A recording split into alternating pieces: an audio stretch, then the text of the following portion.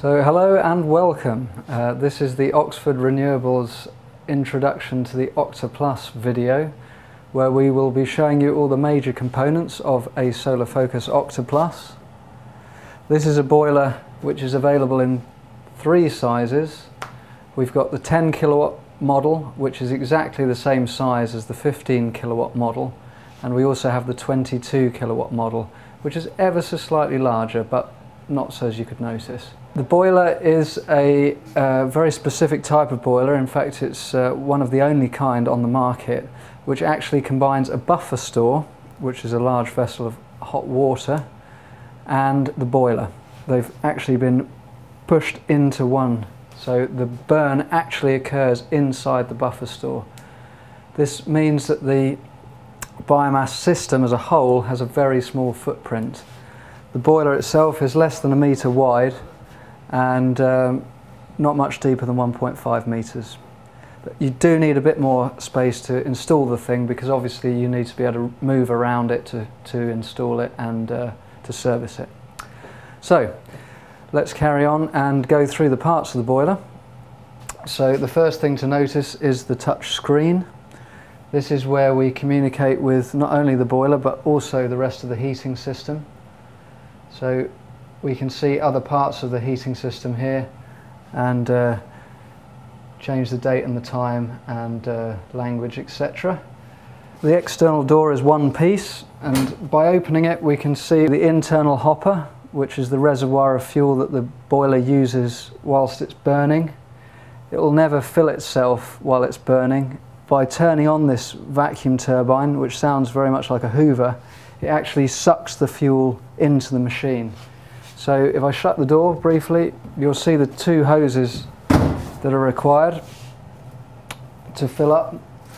We have one hose which will deliver the fuel to the boiler and the other hose which is the return air hose back to the store.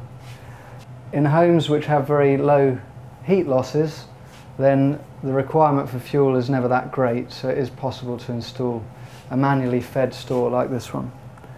This boiler is actually a room sealed appliance, which means that it draws its combustion air from outside the building. Again, a very important feature when you're building a very low energy uh, house. So continuing inside the boiler, we've covered the um, internal hopper. We've got a door switch here.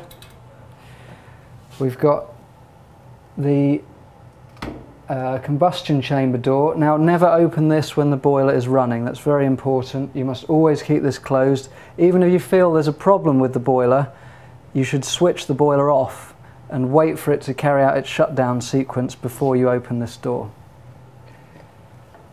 So if we open this door, we can see, if we peer inside, there's the grate, and in the chamber beneath this door, this is actually the ash chamber, and it's here that the products of combustion, the solid products of combustion, fall down and collect in this chamber.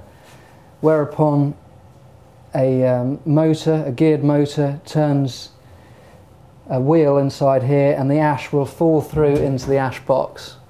So there's very little to do uh, when cleaning this boiler and uh, I'll come to that very shortly. So the components at the back of the boiler comprise the induced draft fan. Again, this only induces the airflow through the boiler and it's very important that the flue is adequately sized and designed such that it provides a permanent natural draft for the products of combustion to be dealt with. Uh, again, the, boiler, the flue should have a sweeping access as it's very important that the flue is kept clean at all times of the year. We suggest a, a biannual sweep, but uh, your professional chimney sweep may suggest that it once a year is sufficient. Um, beyond that, there's not too much for the end user to concern themselves with, but one message to the plumber, and that is the return connection from the heating system is the second one up from the bottom. it's the bottom inch tapping which should be used as a drain cock.